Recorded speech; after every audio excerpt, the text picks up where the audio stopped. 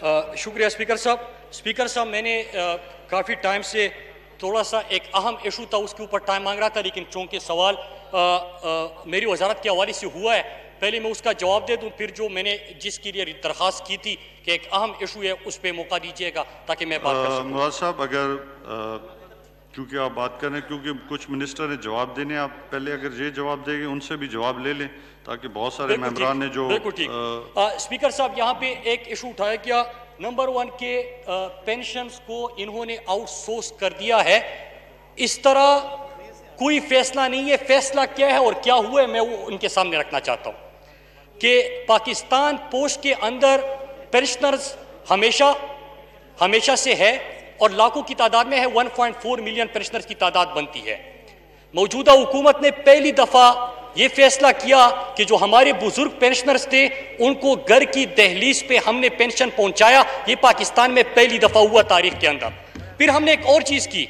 हमने साथ में ये कहा कि आप अपने पेंशनर्स को डेबिट कार्ड या एटीएम कार्ड क्यों नहीं देते कि उनके लिए आसानी हो? और अ, अ, स्पीकर साहब आपने भी मुझे मियावाली के हवाले से पो, पोस्ट ऑफ़िस का भेजा था कि मैं मैं जवाब दे मैं जवाब दे रहा हूँ। कि कि वहाँ पे म्यावाली का भी आपने भेजा था कि लंबी कतारें होती हैं महीने के पहले दस दिन जो है वहाँ पे बुज़ुर्ग पेंशनर जाते हैं और पेंशन की लाइन में खड़े होते हैं। लिहाजा फैसला ये हुआ कि हमने इनको एटीएम कार्ड और डेबिट कार्ड देने एक, जो ए प्रोजेक्ट की बात कर रहे हैं, उसके ऊपर आ रहा हूँ। दूसरा, कि हमने ई कॉमर्स का आगाज़ कर दिया लाइव ट्रैकिंग दे दी, उसके लिए क्या था कि त्रियासी जीपीओज पिछले दौर में इन्होंने कहा कि डिजिटाइज करेंगे स्पीकर साहब। वो डिजिटाइजेशन उसकी नहीं हो सकी, लेकिन तीन अशारिया दो अरब रुपए लगाए गए थे उसके ऊपर। मैंने उसका ऑडिट किया स्पीकर साहब उसमें इरेगुलरिटीज आई और अब रिकवरी का अमल उसमें शुरू हो चुका है। हमने क्या किया स्पीकर साहब? हमने ये कहा कि बजाय इसके कि हर साल आप 3.2 बिलियन रुपए लगाए, आप क्यों ना पब्लिक प्राइवेट पार्टनरशिप पे और किसी को लेकर टेक्नोलॉजी का इस्तेमाल हो।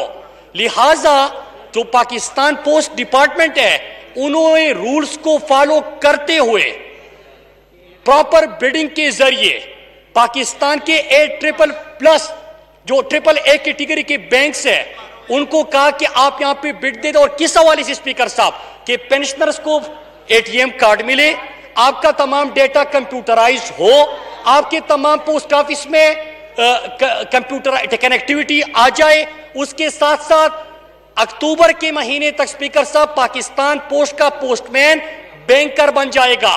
पाकिस्तान पोस्ट बैंक बन जाएगा, स्पीकर साहब, ये प्रोजेक्ट है। और अभी इससे क्या होगा, स्पीकर साहब, कि न कोई पेंशन किसी को दे दिया है, न कोई इस किस्म की चीज़ की है।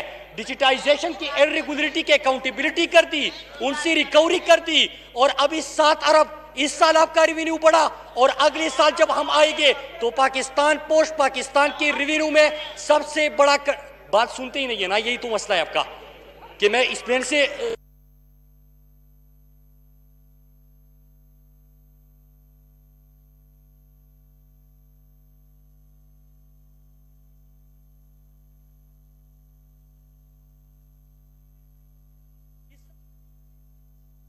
इस प्रोजेक्ट के ज़रिए पाकिस्तान, पोस्ट पाकिस्तान की रेवेन्यू में सब के तौर पे सामने आ गया स्पीकर साहब। अगर इन्होंने स्पीकर साहब एक, अभी इन्होंने बात की थी रू माफ़ी इसलिए मांगे कि इन्होंने इन्होंने सवाल इस अंदाज से किया कि न्यूज़ बनानी है। ओ भाई, तीन अशारिया, दो अरब आपकी इरेगुलरिटी पकड़ी, उसके बाद ये प्रोजेक्ट होने जा रहे स्पीकर साहब। जी थैंक यू जी मोहतरमा